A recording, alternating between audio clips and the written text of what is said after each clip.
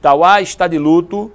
Morreu o companheiro radialista Elvésio Martins, ele que estava internado há alguns dias no hospital Dr. Alberto Feitosa Lima.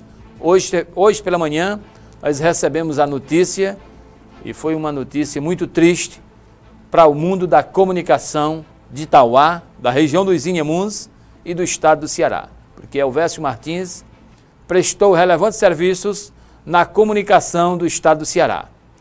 Radialista, filho de Itauá, morreu hoje pela manhã, vítima da Covid-19. Acompanhe esta informação no Passando Geral. O radialista tauaense Elvésio Martins faleceu no início da manhã desta terça-feira, aos 57 anos de idade, vítima de complicações da Covid-19. Ele estava internado há cinco dias no Hospital Dr. Alberto Feitosa Lima, entubado e submetido a hemodiálise. Não resistiu. Desde quando deu entrada no hospital, teve breve melhora no seu quadro de saúde, que se agravou e evoluiu para óbito.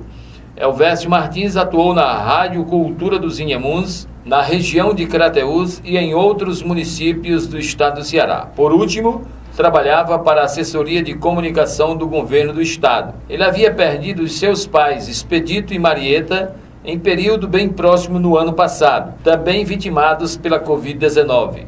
Religioso, defensor das causas coletivas de sua terra e um desportista, ele deixa valoroso legado. O Senhor é o meu pastor. Salmo 23. O Senhor é o meu pastor, nada me faltará. Em verdejantes pastagens me faz descansar, e sobre águas tranquilas me conduz. Restaura minha alma e me guia por caminhos plenos de justiça por causa do seu nome.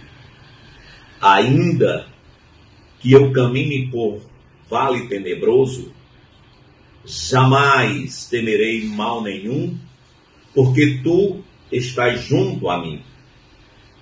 Teu bastão e teu cajado me deixam tranquilo. Preparas a mesa para mim diante dos meus inimigos.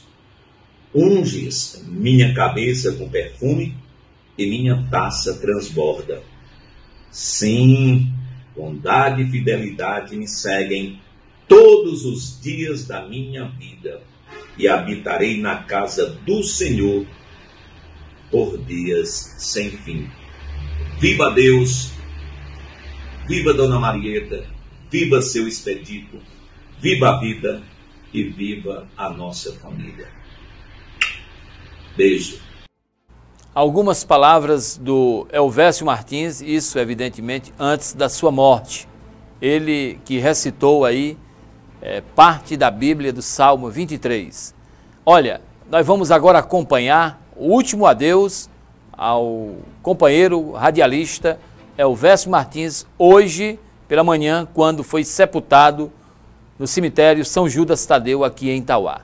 Ele passou agora há pouco o, o cortejo em frente à igreja Nossa Senhora do Rosário, a igreja católica, foi feita a última homenagem ao comunicador Elvésio Martins. Vamos acompanhar. Chegando agora aí. Ele chegando aqui. Vamos passar um momento aqui. Só um momento que vai passar. Um adeus, o último adeus ao nosso grande amigo, Elvésio Martins. Fica o adeus. Né? Adeus, o grande a nosso amigo.